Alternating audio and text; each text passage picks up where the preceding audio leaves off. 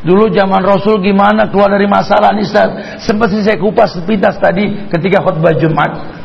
Saya sempat katakan sebuah hadis riwayat Imam Muslim. Ketika Rasulullah bersabda, "Idza tabayatum bil inah wa akhadtum ajnabal baqar wa raditum bizar'i wa taraktumul jihad sallallahu alaikum zullan la yanji'u hatta tarji'u ladinikum." Ini bahasa Rasul nih. 1400 tahun yang lalu. Uh, Nabi udah ngasih bayangan karena begitulah beliau. Kata-katanya betul-betul memang firman Allah. Belum terjadi tapi akan terjadi. Dan sekarang sudah mulai terjadi.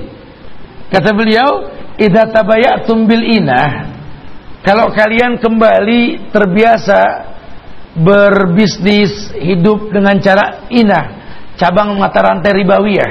Kalian riba kalian anggap biasa Tabayatum bil inah. Ya. Kenapa dibilang biasa? Semua orang sekarang bangga sama riba. Sampai kampung-kampung loh orang beli motor secara ribawiyah, betul?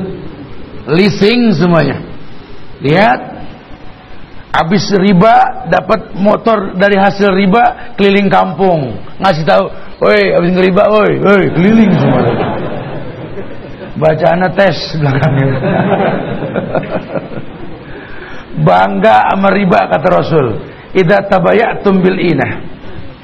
Ini motor kredit secara ribawiyah. Baru modal STNK udah keliling minjem duit. Betul. Ah. padahal masih milik dealer tuh lihat. Dua dosa udah pasti dia lakuin.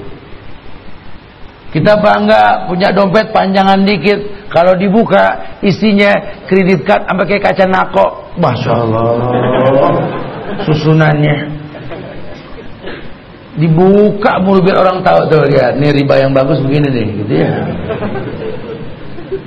Dosa sebesar Jabal Uhud kita anggap seperti sehelai rambut di mata kita. Dulu zaman sahabat dosa seperti sehelai rambut di mata mereka buat mereka seperti Jabal Uhud. Kita lihat riba kita anggap biasa.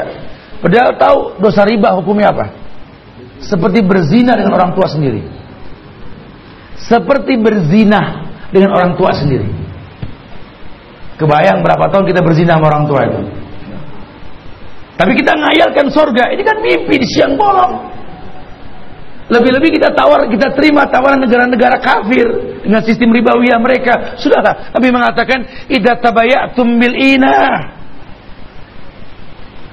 wa akhadtum ajnabal bakar." Kalian megang sapi dari buntut. Udah ngaco deh yang namanya sapi, kerbau dicocok hidungnya. Ditarik dari depan. Kalau dari belakang dipecut. Sapi ini binatang an'am ternak yang paling bodoh. Lahir di kandang, dibesarkan di kandang, hingga dikawinkan di kandang. Harusnya udah apal kandang. Ajak keluar nggak bisa balik ke rumah sendiri dia. Makanya ditarik dari hidung tuh sapi. Eh kata Rasul, akhottum ajnabal bakor. Udah tahu ditarik dari hidung, eh malah buntut yang diikutin. Kalian ikuti pemimpin-pemimpin yang nggak jelas mau ke mana. Sahabat-sahabat yang nggak jelas mau ke mana.